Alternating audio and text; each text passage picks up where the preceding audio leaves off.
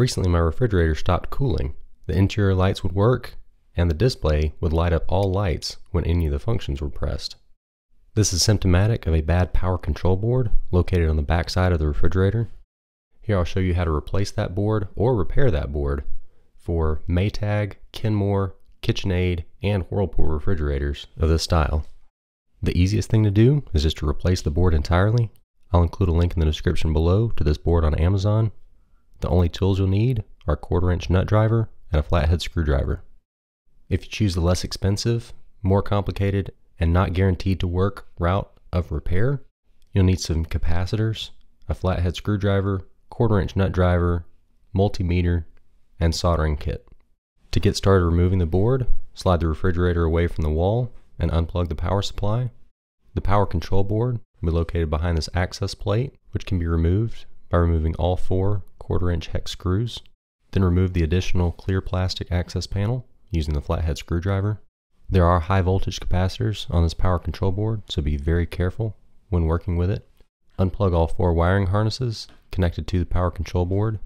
Use the flathead screwdriver to gently pry the retaining clips loose at the top and bottom, then pivot the board out to the left and slide it out of the housing. If you're choosing to simply replace the board, use the chapter markers below to skip ahead to the installation and reprogramming of the new board. Stay tuned to find out how I diagnose my board and narrow down the problem to this capacitor right here. Please note that I am not an expert at appliance repair or soldering. Your mileage may vary. If you try to attempt this repair yourself, you're doing so at your own risk. First, visually inspect each capacitor, check for bulging and leaks. If you don't see anything obvious, you need to go on to testing it with a meter. You'll need an ESR meter to accurately test a capacitor in circuit. However, I was still able to diagnose to this one capacitor using a basic multimeter. I found the following capacitor values to ohm range chart from YouTuber Hobby Electronic Circuits. Click on the card above if you want to watch his original video on how to test capacitors with a basic multimeter. These were generally correct for the right settings to set my multimeter on. So we need to read the capacitor label to figure out how many microfarads the capacitor is, and also which side of the capacitor the negative terminal is. Start testing each capacitor by first short circuiting the capacitor, then put the black lead on the negative and red on the positive. It should show a resistance value at first, which should increase until it shows open circuit. Continue testing the other capacitors in the circuit. If you have one that starts out negative and then slowly climbs, you probably have the positive and negative reversed. When I came to a capacitor that slowly increased in resistance, but then stopped, I suspected there may be a problem. Using the soldering iron, I removed the old capacitor and cleaned up the holes for the new capacitor to go in. Next, I found an identical 50 volt 10 microfarad capacitor. I'll include a link to this 500 piece kit from Amazon in the description below. Before you take off the old capacitor, make sure you remember which direction the negative is on, then insert the new capacitor in its place. After applying a little soldering flux, I resoldered the new capacitor into place, then clipped the ends, then cleaned up the area with a little bit of rubbing alcohol. It may not be the prettiest soldering job, but there it is after I finished installing the new capacitor.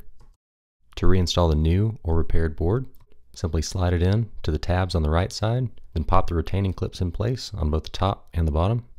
Reconnect all four wiring harnesses, reinstall the clear plastic shield, then reinstall the plate using the quarter inch nut driver to reinstall the screws. Then plug it into the wall and see if it works. Since I repaired my board, there were no additional steps necessary to program the board. However, if you choose to replace it, you may see an error message like this on the screen. Thankfully, there's just a couple of extra steps to program it. First, open the right side door and locate the manufacturer's sticker where there will be a four digit code. Next, press and hold the door alarm and freezer temperature down buttons, then release the door alarm button and hold the freezer temperature down for an additional 3 seconds until PE appears on the screen.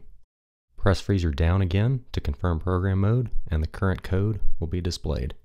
If this number doesn't match the code number on the manufacturer's sticker, simply use the refrigerator up and down buttons to select the correct number and then advance to the next number using the freezer up button. Once you have the correct code, push and hold the freezer down button until the code flashes. Press any key to exit program mode. You'll see the screen go blank for a brief moment, and then it will resume normal operations. I hope this video has been helpful. If it has, please click the like button. Also show your support to the channel by subscribing.